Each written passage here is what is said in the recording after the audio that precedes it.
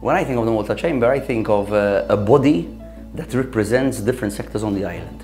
So I joined the Chamber on a bit of a whim. I'd known about it for a long time because I've written about the Chamber quite a lot. And it became clear that even though I run a really small business, the Chamber had a place for me.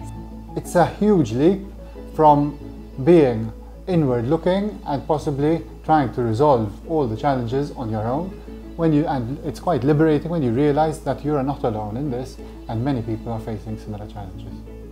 Our experience has been super positive uh, when, when we joined the chamber. So obviously my advice would be do it because whatever industry you're in, you need a, a representative voice, you need a structure.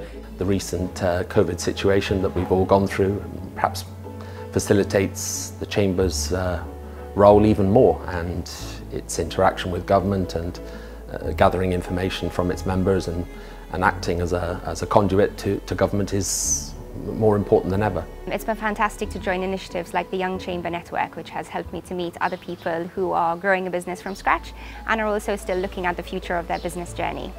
We initially joined the Chamber because our industry needed a voice and we did not have a structure organization to represent us in any um, uh, part of the business world. If you do not have a, a voice to represent you in your sector or um, you just want the networking op um, option of it, it's definitely something which you should form part of because uh, it, it, you're missing out. Chamber is definitely a, a conduit for uh, discussion and for information feeding back to, to government.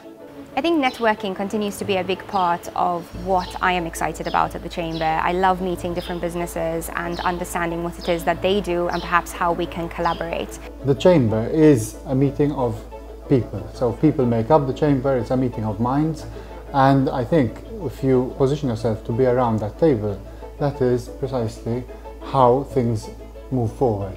The Chamber of Commerce has added value to my business by putting me around the table with some people that I really respect.